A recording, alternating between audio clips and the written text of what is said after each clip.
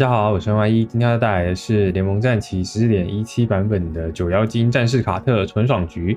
那这一局的话，会大家看到就是九妖在加强之后的卡特，那是有多么的强悍。呃，不过这局的话算是天胡的赛狗局，就比较没有具备教学的意义。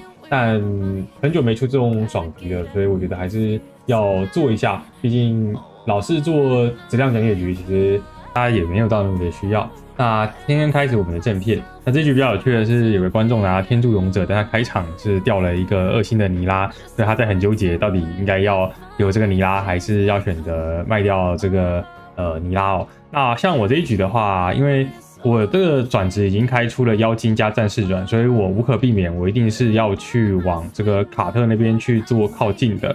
但就是要不要顺手去赌这个尼拉跟阿卡丽，就是可以去思考的。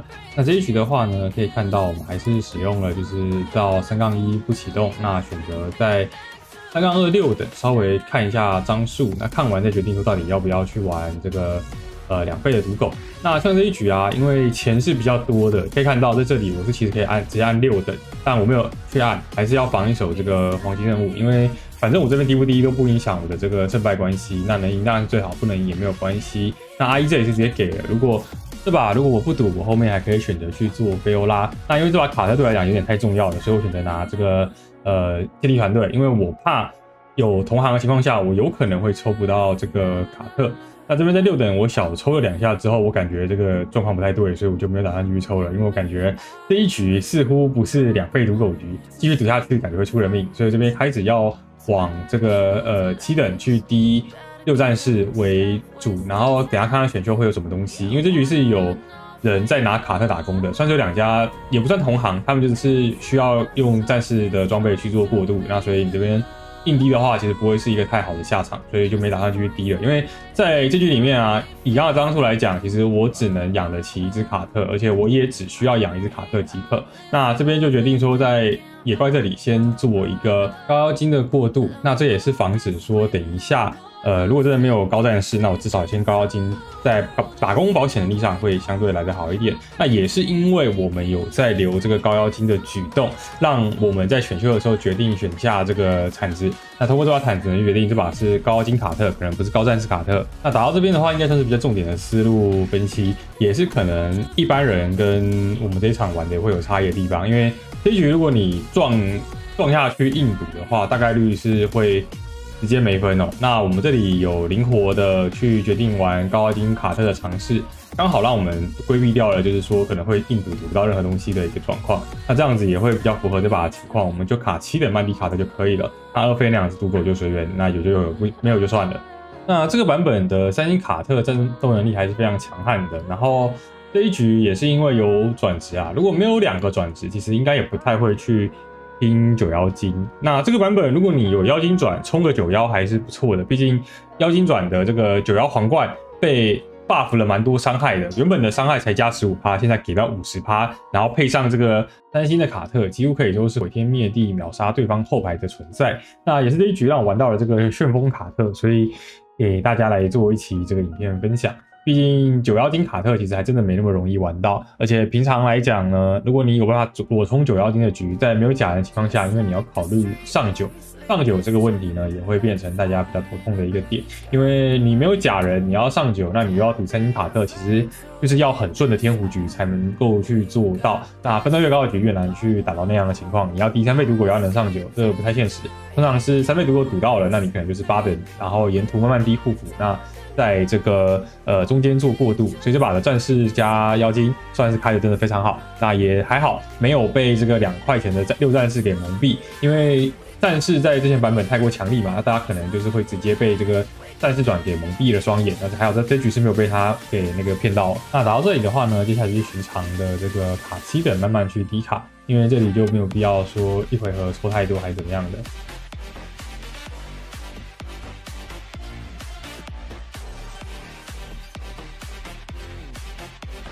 啊，不过这边比较惨的是，就是我这里低了那么多，结果居然我低不到第二只的二星卡特，我知道直接用小尼可去捏了。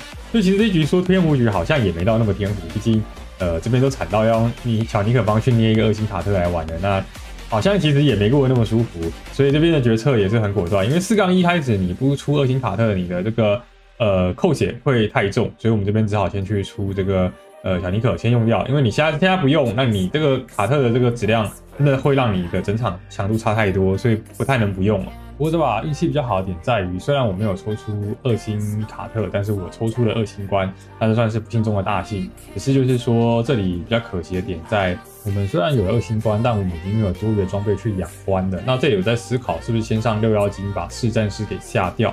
那其实这边可以再果断一点的，因为六妖精这边太少碰了，所以有点纠结了一下。那这边理论上来讲，应该是六幺呃六幺金四战士会来的更强一些。那随便挂个保护的。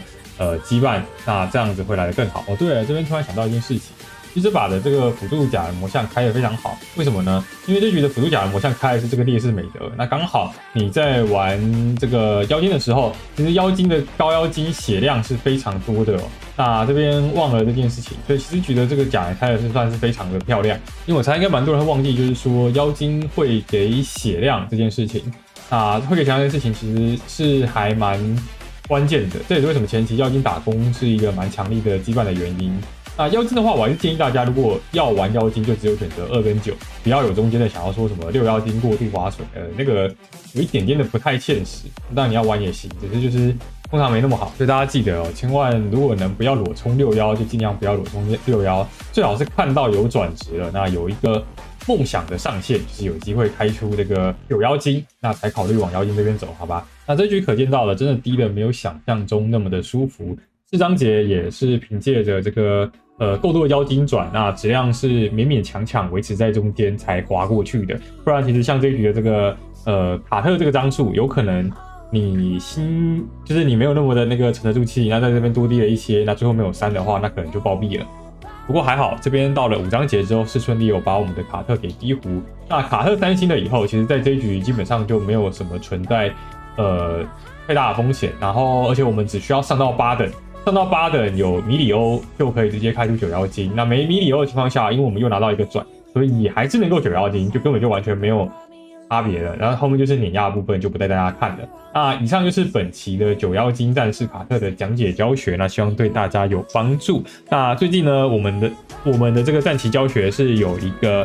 优惠活动，因为我弟在北美的比赛拿到冠军了嘛，那所以跟他有一个优惠活动，就是如果你们有下单我跟我弟的话，那是可以有八八折的优惠。那这优惠直到这个第二个杯赛开始之前，大概是九月中。那如果有需要的观众朋友们，记得填写教学表单或者直接私聊我 DC。那以上就是本期的这个九妖金战士卡特的教学爽局，那希望对大家有帮助。那我是 Y 一，我们大家下期再见。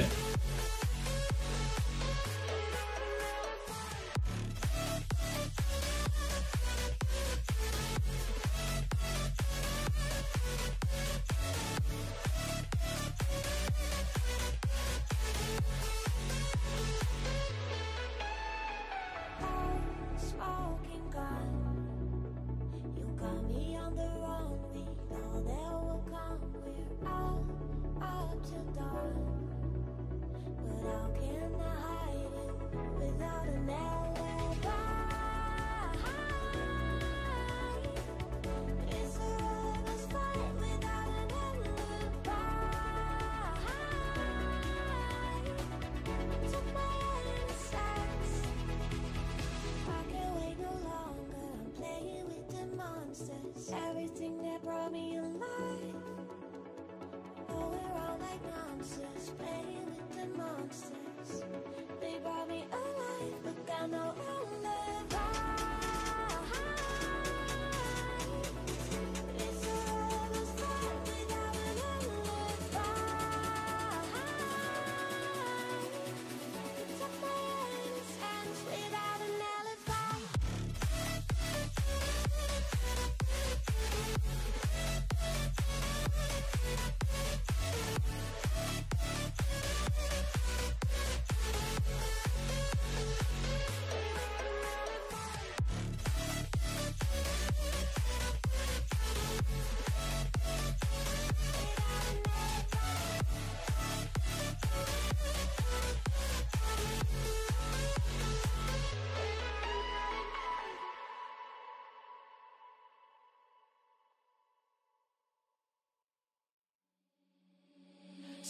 monsters at your window.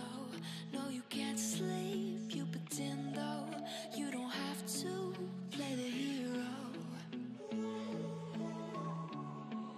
Cause I got you like you got me.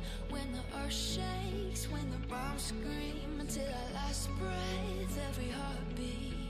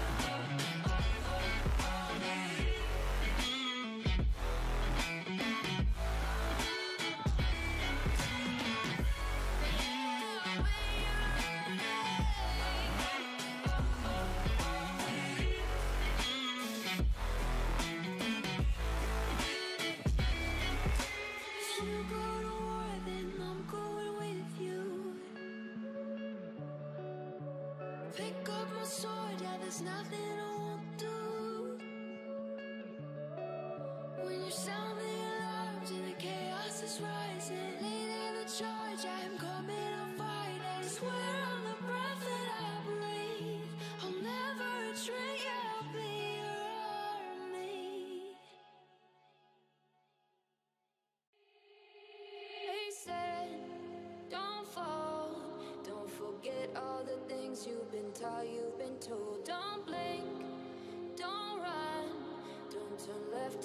right or look straight at the sun. My mind's going in circles, I'm trying to fight it. Getting these voices inside to stay quiet. Gone to the place where